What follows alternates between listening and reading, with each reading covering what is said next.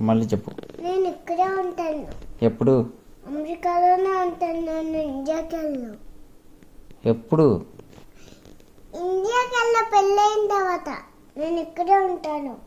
అమెరికాలోనే ఉంటాను. పెళ్ళైన తర్వాత ఇండియా వెళ్ళవాలని ఎవరు చెప్పారు?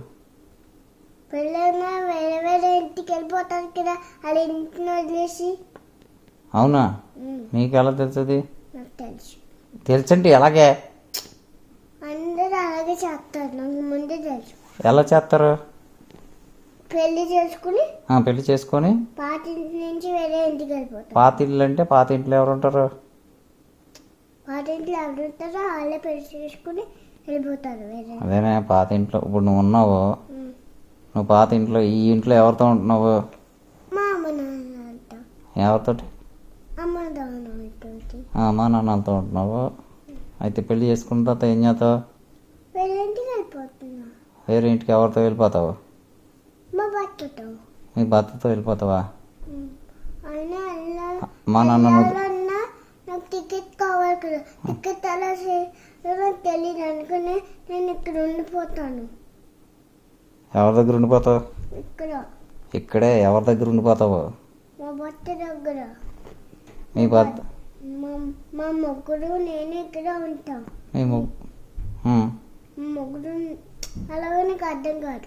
నీకు నీకు డబ్బులు ఇస్తాకే నాన్న సరిపోతలేదు. నీకు మీ ఆయనకి ఏం కాదు మీ మీ భర్తకి ఏం చేయను మళ్ళీ? అన్ని డబ్బులు ఎక్కడి నుంచి వస్తాయి నాన్నకి? ఆఫీస్. అయితే నీ ల్యాప్టాప్ ఉంది కదా నీ ల్యాప్టాప్లో మా మా ముగ్గురు పని చేసుకుంటారు. నా ల్యాప్టాప్లో మీ మొగుడు పని చేసుకుంటాడా ఉమ్, నేను మా అమ్మ ముగ్గురు మా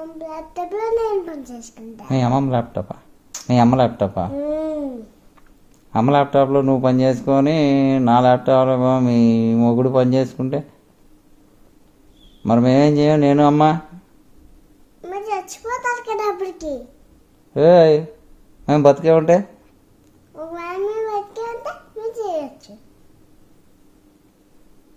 అప్పుడు మళ్ళీ నీకు మీ భర్తకి నేను అన్నం పెట్టాలి అంతేనా?